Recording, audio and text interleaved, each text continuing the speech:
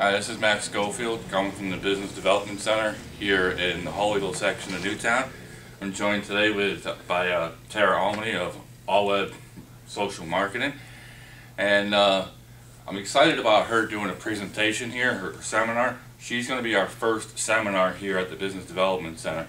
She's a great person to get it kicked off. Welcome, Tara. Thanks, Matt.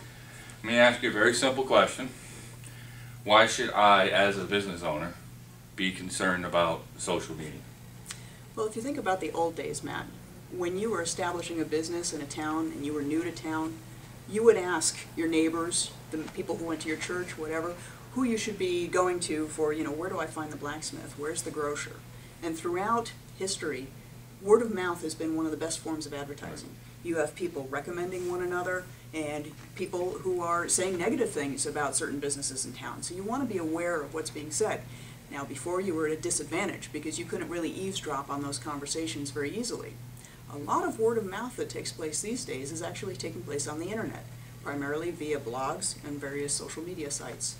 So as a small business, you want, really want to be able to manage what's being said online about you.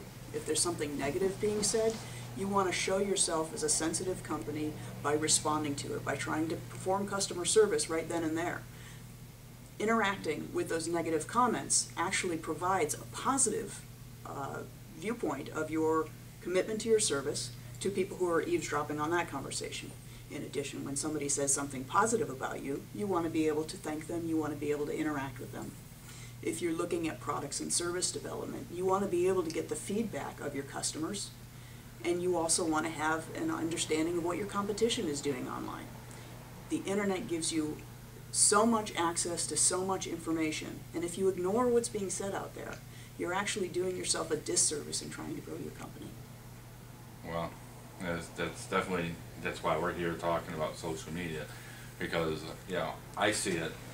Um, all my customers are out there, and it's a great way to interact with them. Customer service, even market research is a great place. Definitely. I didn't even think of stuff like that. Prospecting, all of that can be done online. Affiliate marketing, you know, finding people that are in a business related to yours that you can establish some kind of relationship uh, with, that you can be providing leads to them and, and receiving leads from them. All right, that sounds good. We're gonna learn a lot tonight from your seminar. I'm looking forward to it. I'm looking forward to it too. Again, I appreciate you being my first seminar speaker. And five, ten years down the road, when we both got businesses thriving, we'll remember this point. I'm sure we will. Thanks again. Thank you. All right, this is Matt Scofield. We're coming from the Business Development Center in Hawleyville, and we're here to help you do business.